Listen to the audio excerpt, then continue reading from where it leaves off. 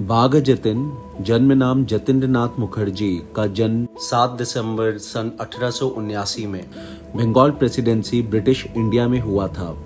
वो एक भारतीय स्वतंत्रता कार्यकर्ता थे। वह जुगांतर पार्टी के प्रमुख नेता थे, जो बंगाल में क्रांतिकारी स्वतंत्रता कार्यकर्ताओं का केंद्रीय संघ था। बंगला में बाघ शीर्षक एक बाघ के साथ हाथ से लड़ने के रूप में उनके साथ जुड़ गया। कई स्रोतों में जतेंद्र नाथ का सन 1900 में अनुशीलन समिति के संस्थापकों में से एक के होने का उल्लेख है।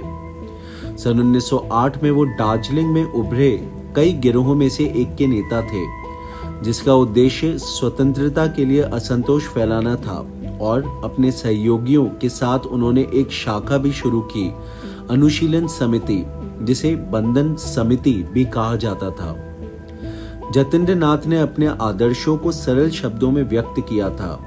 अमरा मोरबो, जगत जगबे।